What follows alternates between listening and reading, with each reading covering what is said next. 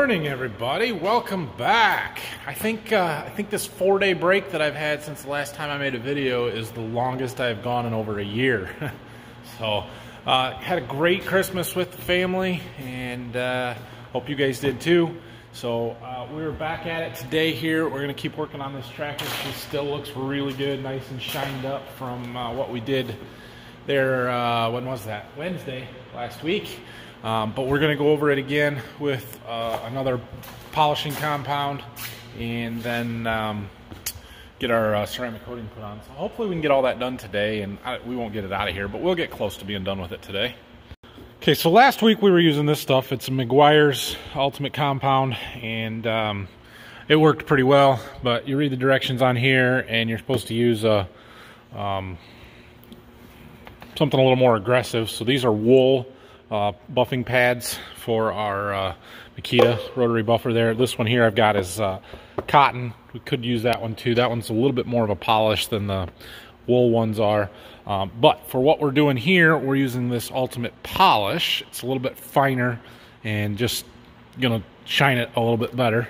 Uh, and this one says to use foam. So I've got a foam pad here that I can use on that one. I've also got this uh, DA um, uh, random orbital orbital uh, buffer there, and I've got this foam thing bonnet for it, but it's kind of falling apart. I don't know if it's going to work or not. We're going to start with this one and try it. This is uh, not nearly as aggressive as that one is, but it's a little more forgiving and stuff, and, and should work well over some of the edges and curves and stuff that you got to be very careful not to burn through with that one on, although the foam pad should work pretty good on either one. So we'll see. We might use them both. I don't know. So here's what we're starting with. It's pretty shiny. It does look good. There are a few scratches in it, but it's stuff that I don't think I'm really going to be able to take out. So I've put a little bit of product on our uh, buffer here, and uh, we'll see. We'll see what we can do. Well, I don't think the difference is nearly as um, obvious visually from what I did on the other day to to this, but I can feel it. This here is a lot smoother than over here where I haven't got yet.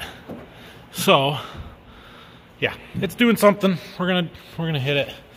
I don't know about this buffer. I may switch to my other one. Actually, I'll probably do this fender with this one. Do the other fender with the other one. And then we'll compare. All right, well, I'm changing my mind here. I don't really like this stuff. It's um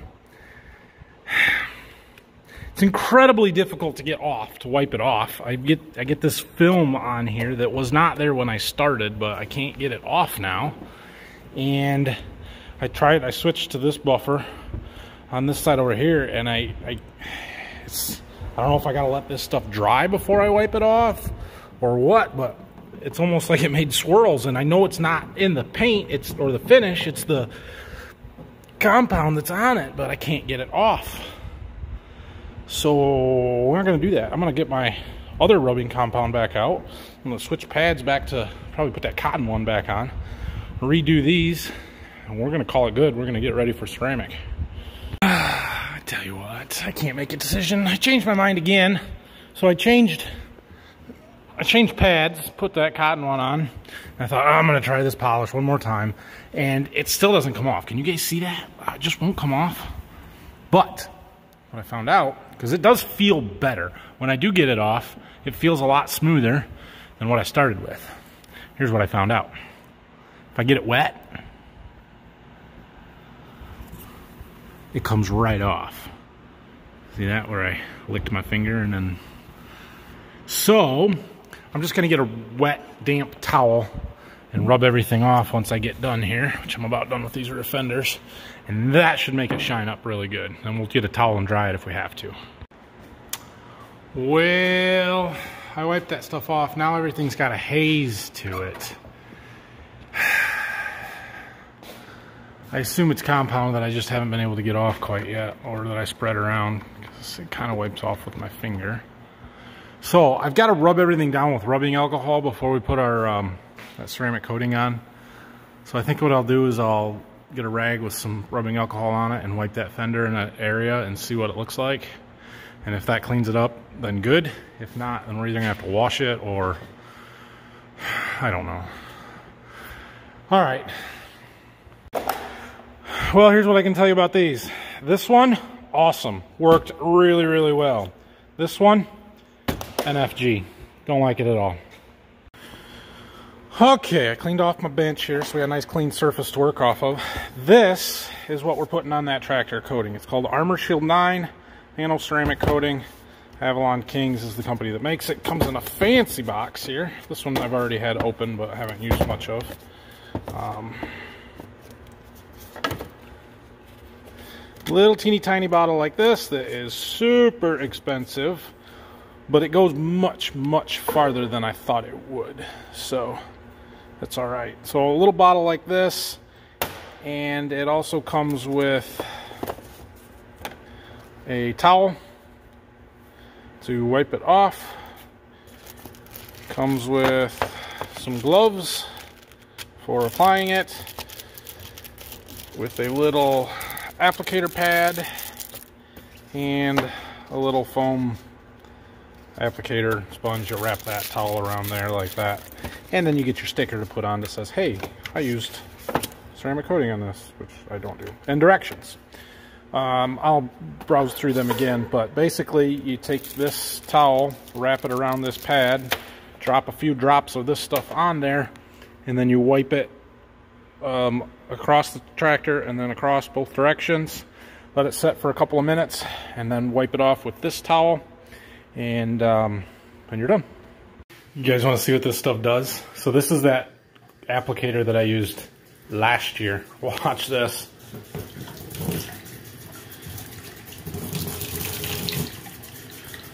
Dry. Just rolls right off of it. I was going to wash it off so I have another one to use if I needed it. How am I supposed to do that? Pretty cool, but not super helpful right now. Wow.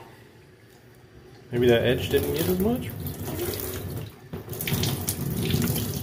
That's crazy. Yeah, over here where there wasn't quite as much it soaked in, but right there. It's also kind of stiff, as you can see. It doesn't want to bend. Maybe some soap. Well, the soap got it wet, but look at this. Even this terry cloth towel, microfiber, whatever you want to call it.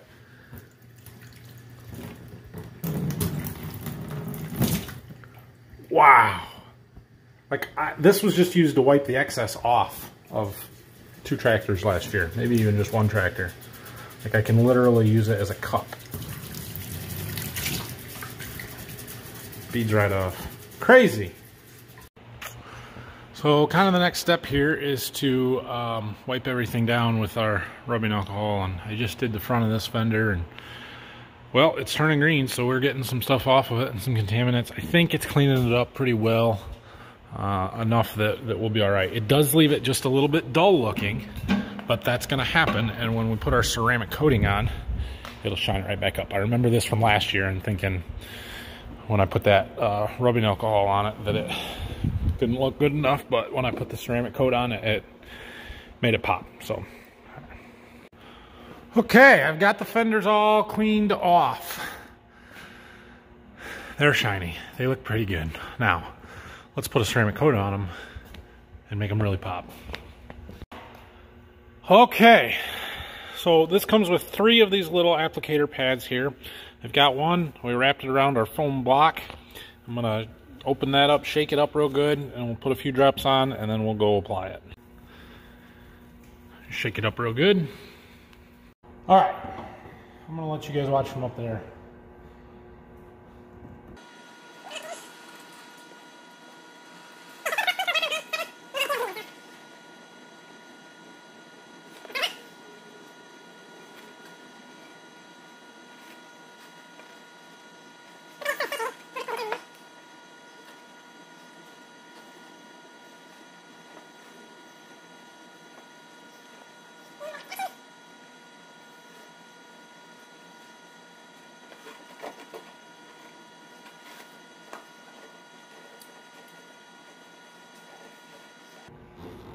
Okay, I got that whole area covered pretty well.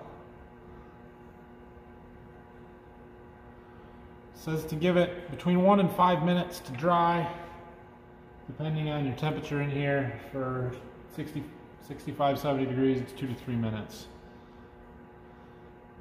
So we'll give it two to three minutes. Okay, now we'll take our other cloth and kind of buff it off.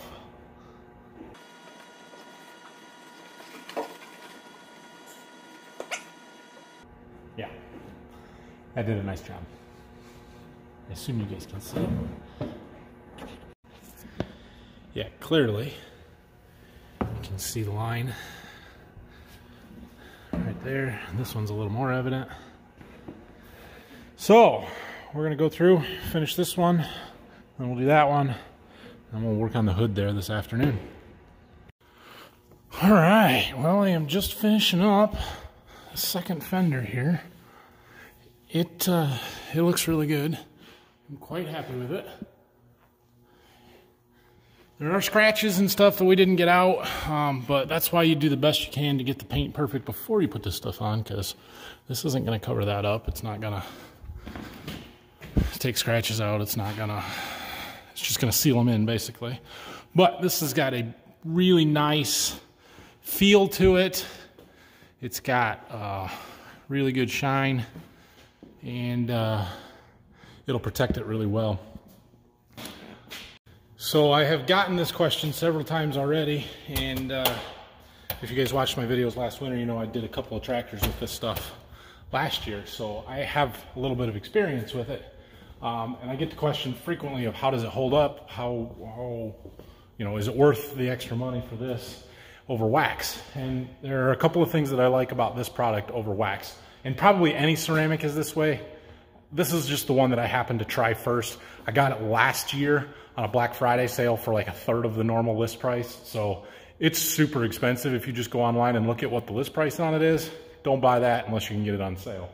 Um, there's plenty of other options and products. But what I like about it is one, it goes on so much easier and faster than wax. I mean, you guys saw me, you just wipe it both directions, which is not hard to do, and then lightly buff it off. You don't have to rub the wax off really hard like we were doing on the combine. It doesn't take near as long to apply. So I really like that aspect of it. And as far as durability and how it holds up, um, when we get the tractors in the shop that we put this on last year and we start cleaning them up, I'll be able to give you a lot better review on it and stuff. But um, I do know when I would kind of rinse them off throughout the year, the water was still beating up on them and it, it did a really good job of retaining that hydrophobic principle or property, you know, where it, it really um, beads the water up and do, it doesn't let it stick and it rinses dirt and stuff, we get bird poop on the hoods or whatever, it would it would just rinse right off with water instead of having to uh, really spray it or scrub it or get a soapy water or whatever. So I do like it. It works pretty good.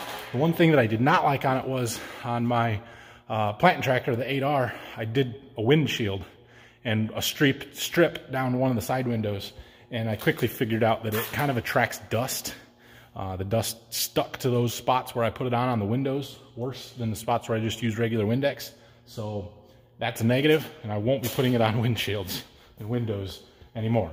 But as far as fenders and sheet metal and stuff, even if for no other reason than it's easier to put on and take off than wax, that's why I'm gonna keep using this stuff. Now, supposedly, this stuff is good for five years and you only have to apply it once every five years. I don't know if I'm buying that but here's what I decided. Instead of putting another coat of that stuff on the tractors uh, that we put it on last year, again, I bought this stuff. Uh, somebody recommended this to me from watching my videos, so thank you. Um, but it is a ceramic wax, which it's not really a wax, it's a ceramic coating. They just use wax because that's what people know. Um, but it's a spray on, you just spray it on and wipe it off. Should be a little bit faster and easier to, to apply.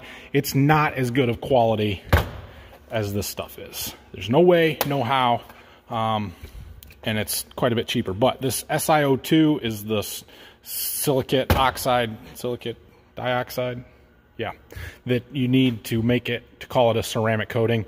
Uh, this one is like 80 or 85% SiO2. This is maybe like five, maybe. So the concentration's not there, but um, So on my on my 8R and on the 8430 that we put the ceramic on last year, that's my plan is just to spray it with that stuff and wipe it on and off. Should still be really easy to apply. Give it a little refresher coat that'll be good for a year to year after we've got a good base coat on there. I don't know if that's right or not. That's what I'm gonna do. So once we've got this stuff applied, um, it, you know, you, you kind of put it on and you give it a minute or two and then you wipe it off. Uh, it then says it needs two to four hours to kind of cure to the touch but it needs upwards of 48 hours to really be cured and four to seven days before you get it wet if you can do it and expose it to the elements and weather. Fortunately, this tractor is going to have about four months before it needs to do anything. Um, so we're going to get it applied. We'll leave it sitting here overnight to get it relatively cured, uh, finish whatever else we got to do to the tractor. We got to wash windows, clean the cab out, that kind of stuff. And then we'll stick it in the barn out back. It will get dusty out there, but um, should be able to cure just fine. And then when we need to get it out in the spring, a quick rinse with the hose and then water will all bead off and it'll be nice and clean. After lunch, we do the hood. All right, I am back. Uh, I spent a little bit of time here after I got back trying to set up some appointments. Tomorrow, I was I'm planning in and still hoping to uh, go and do some seed business stuff. I've been working on some of these dairy farms with some of this Enogen corn uh, for the feed. And so I was trying to get some appointments set up. My uh, Enogen lead is coming up tomorrow to go see some guys with me. So anyway, working on that. Uh, time to do this hood. I'm gonna wipe it down first, just with a, a regular cloth, and then we'll do our rubbing alcohol because I haven't really touched it since last Wednesday, so I'm sure it's got dust and stuff on it. And I saw some spots earlier that I didn't quite get all of the uh, polish off. Like right, right there from uh, what we were doing last week. One thing about this tractor, on these this side of the hood up here, right next to these tires, we've got a lot of little chips. I don't know if you can see them real well. Um, not much I can do about them without getting some touch-up paint and doing a lot, and quite frankly, it's not worth the effort right now. So we're not going to fix those, but yeah, there are a lot of them. it's just the nature of having a tire throwing stones and dirt and mud right next to your painted surfaces. It's just the way it is. Okay, I've got her wiped down with the rubbing alcohol now. We're ready for our ceramic on the hood.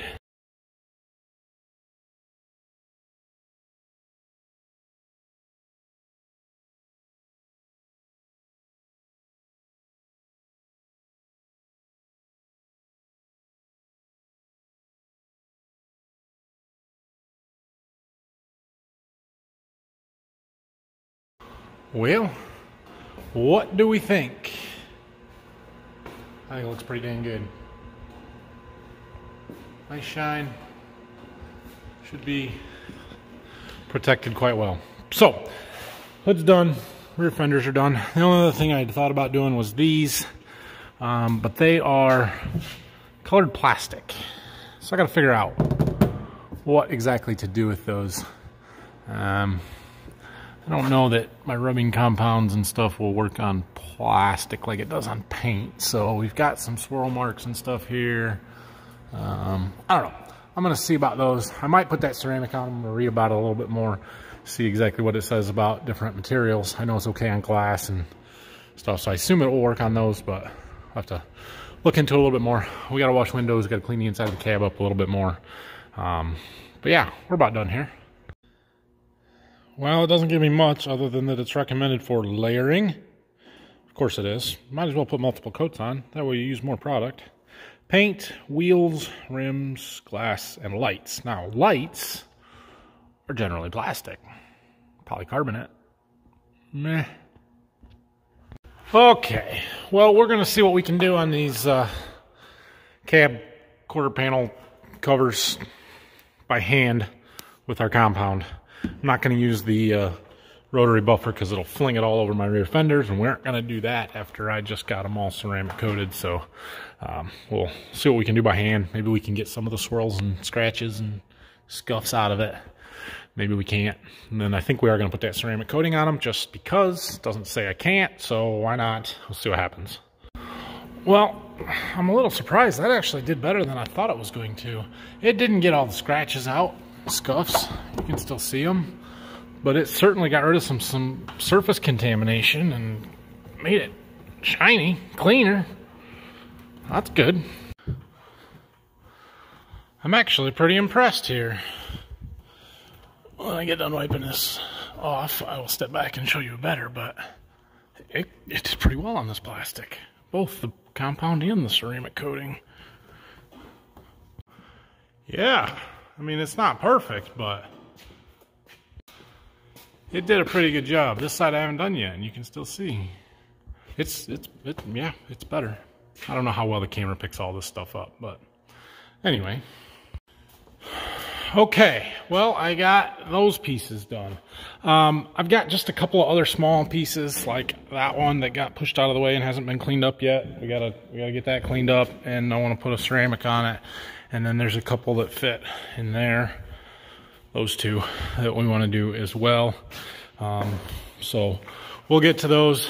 Uh, I want to go out and check our parts shed, see if my lights for that tractor showed up yet. Aha, they have.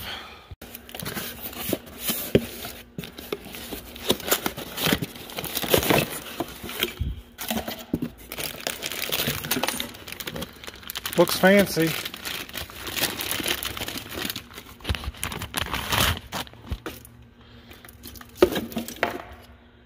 Cool. Well, they ought to work. Weird.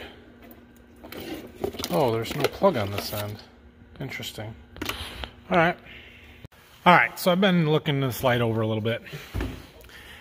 I was expecting these wires to have a plug on it. In fact, I was expecting them to have the plug that mates to to this, like this plug here. So then I thought, well, maybe I can just use this, but I won't be able to get these wires through that bolt very easily. I was trying to take one of the ends apart, but I couldn't get it. But then I thought, well, I don't really even need to do that. All I need is to put an end on here. The problem was the this end mates to this one, which then this is what plugs into the tractor. So what I really need is one of these on the end of these wires. And it just so happens that I have a couple of those housings. All I need is the pins. I've got these that are used that, I mean, I could solder them on there or crimp them together, but um, if I can just get some of these ends, put them on the end of these wires, I can eliminate all those extra wire harnesses. So I'm going to try and do that. I got a buddy that's got an electrical connections kit stuff that he might have them. Otherwise, I can get them. Those ends will cost me like 50 cents for four of them. So um, we'll delay our project a little bit longer, but that's okay. It'll be a lot cleaner installation than trying to, because I gotta I gotta put ends on these wires one way or another, and it doesn't make sense to go through four connections when I can just do it in one. So yeah, that's what we're gonna do for the record, here is the parts picture of what I thought I was ordering, and there is clearly a plug on the end of those wires in the picture. And then you need the two to adapt it to the right. Whatever. I'll, I'll fix it. We'll make it work. Okay, I got those two pieces cleaned up, but I want to put them back on the tractor before I hit them with that ceramic. So, um, I was just pulling the tractor head, so I got room to wash that piece back there, and I Almost. I almost crushed the ladder. Still good. Ah, I just got another dealer for or delivery from my John Deere dealer. Uh, this little computer box may look familiar to you. This is a uh, MGT modular telematics gateway.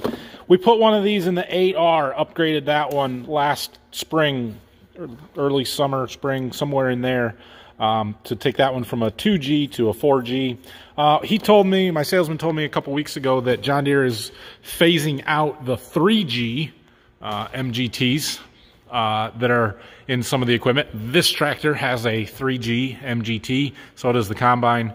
Um, but they're going to be good for another year and a half or two years or something like that. But they are phasing them out, so they have a program right now to upgrade them and, um, uh, yeah, upgrade to the 4G ones for like 150 bucks. So I said, yeah, give me one of them. I'll do this tractor. So he dropped that off. We're going to get that installed probably maybe tomorrow, maybe Wednesday. We'll see what time, how much time I have to work on stuff. But uh, uh, so he brought that by. What that thing does is wirelessly send the data from our displays that are in the corner post there uh, up to the My John Deere account to sync. Yeah, it, it basically allows it to uh, transfer data wirelessly. So uh, on this tractor, it's not real critical. It's a tillage tractor. I, I don't really need coverage maps and tillage maps and stuff, but it'll do it. And for 150 bucks, yeah, why not? Plus, it comes with three years or five years of the subscription that you need to be able to do it. So um, we'll we'll take that. All right, this is the last piece that I need to get shined up. So I'm gonna uh, hand go over it with the rubbing compound, and then we'll put it or put it back on the tractor and put our ceramic on it. Okay, well I got that cover plate put back on. I ceramic coated it. It's just as shiny as everything else is now. Everything looks good on this tractor. I'm quite happy with it. So tomorrow I don't know what's going on tomorrow. I do know what's going on. I don't know how much time I'm gonna have around here for stuff tomorrow. But next things to this tractor, what we've got left to do is wash the windows, clean the inside of the cab up, wipe stuff down. And uh, I've got some, some stuff that I like to spray on the plastic, black plastic tanks to help clean them up, shine them up, protect them a little bit. So we'll do that. And uh, then we're pretty well done with, oh yeah, and then replace this MGT. Uh, and then we're pretty well done with this tractor. We'll work on our lights as soon as I get some pins on that tractor. So those are the next things here. Hopefully we can get all those things done this week and get these two relatively out of here. Uh, be ready for new tractor after the first of the year. So it is after five o'clock. I am heading home. Um, tomorrow I'm either going to be working in here a little bit or I've got to do a little bit of seed stuff like I was saying earlier. I've got some uh, at least an appointment set up and hopefully we'll find a couple other guys to go and see. But uh, my Enogen lead account specialist, whatever she's her title is, is coming up to go and uh, see these guys with me. So hopefully we'll have a good day selling some Enogen uh, feed corn and uh, we'll see how all that goes. So um, I will be around Wednesday. Uh, if I don't do anything tomorrow around here, I'll, I will Wednesday. And then I'm planning on working Thursday morning. Thursday is New Year's Eve, so uh, will be a short day and then I won't be around on Friday. I did start working on my year in review video. Sorry I didn't get that done for this weekend, but I was busy with, you know, Christmas stuff. So um, I will have it for New Year's weekend, probably. And uh, we'll get, get that put out. So anyway, have a great night night, right? Yeah. Gosh, I got to get back into the swing of things here. It's been a long time since I've done this. Sorry. So, um, questions, comments, leave them down below. Hit that like and subscribe button for me, please. And uh, we'll see you guys again probably tomorrow.